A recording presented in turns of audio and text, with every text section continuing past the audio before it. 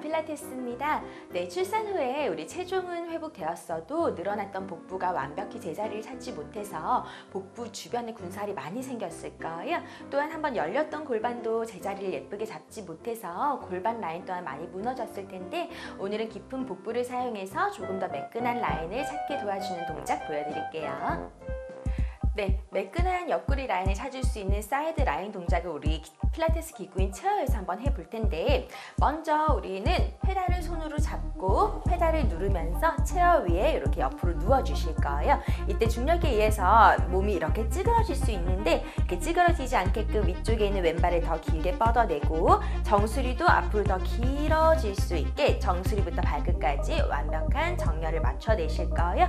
자, 이 상태에서 골반 하복부를 완전히 고정해 놓으시고 호흡을 크게 마셨다가 내쉬면서 후 옆구리를 접어 접어서 올라올 거예요. 자, 이때 내 갈비뼈가 열리지 않 도록 갈비뼈를 계속해서 모아내면서 납작한 상태로 올라왔다가 자, 다시 마시는 숨에는 페달을 누르면서 다시 정렬 상태까지 완벽하게 돌아갈 거예요. 다시 하, 내쉬면서 우리 흉 상부 커브를 만들면서 옆구리를 더 단단하게 조이면서 올라오셨다가 다시 천천히 밀고 내려 가실 거예요. 자, 한 번 더 후, 내쉬는 숨에 올라오실 때 골반 흐트러지지 않게 다리 라인 그대로 유지하면서 올라왔다가 자, 그대로 다시 천천히 내려갈 거예요. 자, 이번에는 골반 바깥쪽 라인 운동까지 같이 가볼 텐데 어, 똑같이 정렬 유지한 상태에서 마시고 내쉬면서 자, 상체 올라올 때 자, 위에 쪽 다리도 정면 향해서 길게 팔도 같이 뻗어줄 거예요. 이때 다리가 회전되지 않도록 정렬 상태 그대로 올라왔다가 다시 상체 내려갈 때 다리도 떨어지면서 정렬 맞춰냈고요. 다시 후 내쉬면서 올라오실 때 발등 상체 계속해서 정면 바라볼 수 있게 만들어 주실 거고요.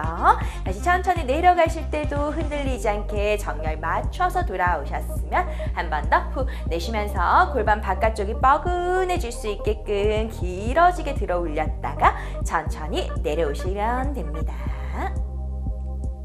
네, 오늘 보여드린 동작은 복부 쪽에서는 복사근, 허리 라인 쪽에서는 요방형근, 그리고 골반 라인에서는 중둔근을 고르게 자극해서 전체적인 S 라인을 만들어주는데 굉장히 효과적인 동작이에요.